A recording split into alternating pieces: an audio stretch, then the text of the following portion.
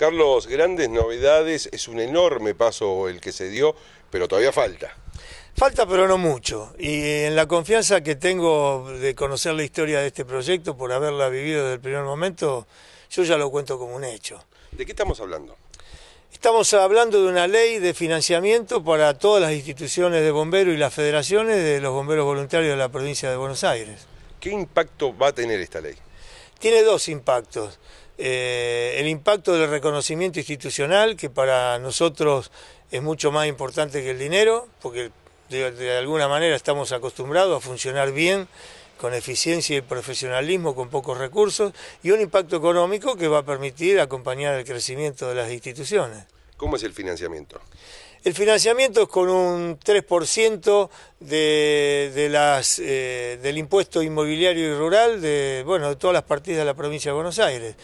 Eh, que después va a tener un, ajuste automático en la medida que este, exista la necesidad de modificar esos importes. ¿Cómo se va a distribuir? ¿Cuántos cuarteles de bomberos, si lo tiene en mente, ahí en la provincia de Buenos Aires? ¿Y cómo se distribuye entre todos esos cuarteles? Creo que conozco más los cuarteles que los dedos de mi mano. Eh, tenemos 259 cuarteles de bomberos en la provincia de Buenos Aires y uno más en creación. Podemos hablar de, 260. La distribución va a ser por potencial. Esta es una, una, idea que surgió desde Moreno, digamos, de... Eh, potenciar o, calificar a las instituciones de bomberos de acuerdo a la cantidad de habitantes que atienden.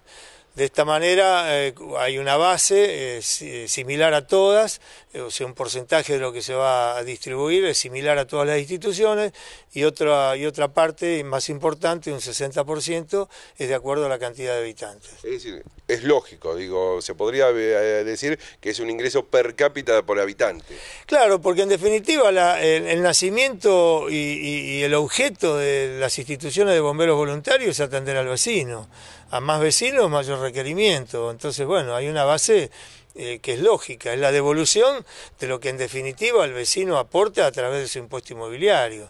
Lo que, lo que ha hecho el sector de la política, el sector del gobierno, yo creo que con muy buen tino y al cual le agradecemos profundamente, tanto al gobernador como a la oposición, porque esto fue votado unánimemente y hay que resaltarlo, eh, y en un trámite inédito. Eh, porque el proyecto entró y se aprobó el mismo día en ambas cámaras. O sea, no tuvo absoluto... Si bien estuvo...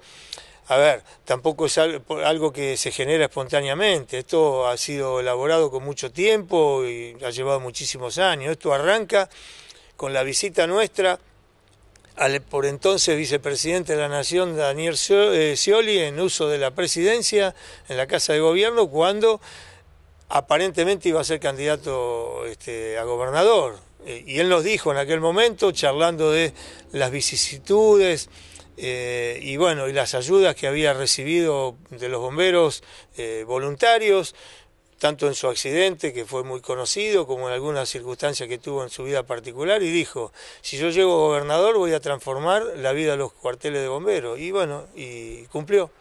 ¿Cuándo entra en vigencia? Entra en vigencia, o sea, ahora falta el último pasito que es este eh, promulgarla y, reglamentarla, que ya está todo acordado, es un trámite administrativo y en el ejercicio del año que viene, o sea que esto eh, de alguna manera va a tener eh, la corresponsabilidad de la continuidad en el futuro gobierno. Bueno, obviamente ustedes hicieron todos los análisis. A dinero de hoy, este 3% del impuesto inmobiliario rural, ¿A cuánto asciende hoy?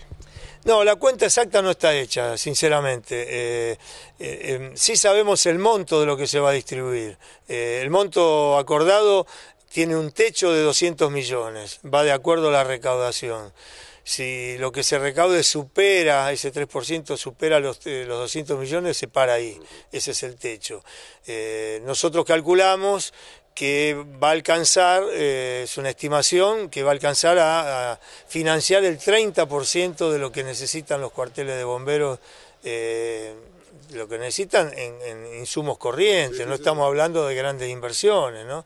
Este, como para que funcionen.